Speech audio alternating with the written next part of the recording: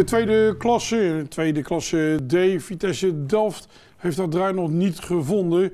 Ze gaan eh, nu op bezoek bij, bij Sparta, ploeg van eh, John Hagen. Ja, en dat Sparta, dat mag je het opbetitelen als een eh, runner-up.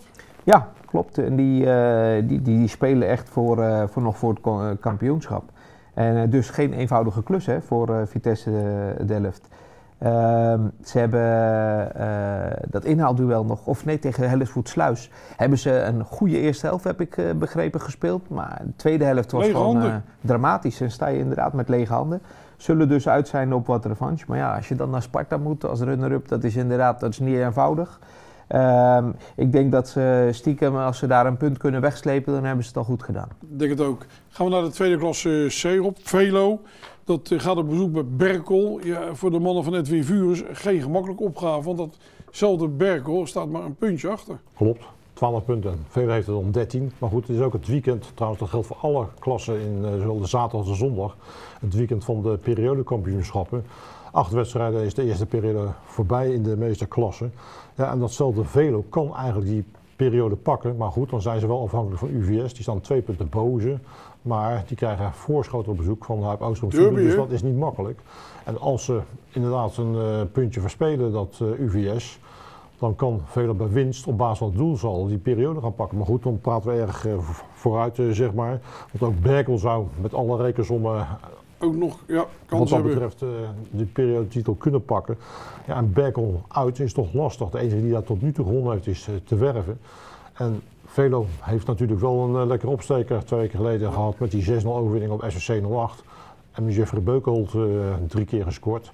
Dus wat dat betreft hebben ze weer een beetje scorend vermogen in de ploeg. Mooi duel. En ik denk dat het zeker een heel aardig duel kan worden. Van belang onderin, als we naar kijken, Sportclub Monster ontvangt THVV. Dan hebben we het over nummer laatst tegen nummer eh, voorlaatst. Dus ja, de belangen zijn groot. Ja, inderdaad. eh, hoe heet het? Echt een kraker, maar dan inderdaad onderin in deze klasse.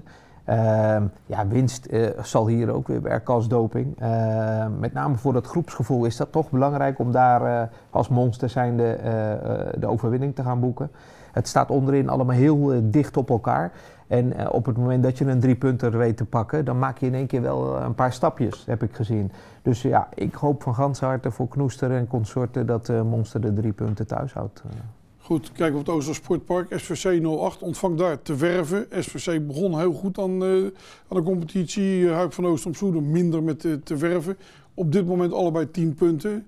Ik denk dat het een beetje om gaat wie gaat naar boven aansluiten. Ja, ik, dan hou ik het toch op te werven, denk ik. Want ik heb SSC dan eh, twee weken geleden gezien bij, bij Velers. Voetballen helemaal niet onaardig. Die ploeg van Jeffrey Vrijters. Alleen het scorend vermogen, het laatste in de steek.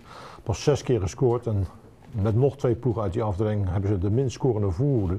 En dat gaat ze opbreken, denk ik. Onder, onder meer omdat Steven de Ruiter weinig eh, bruikbare ballen krijgt.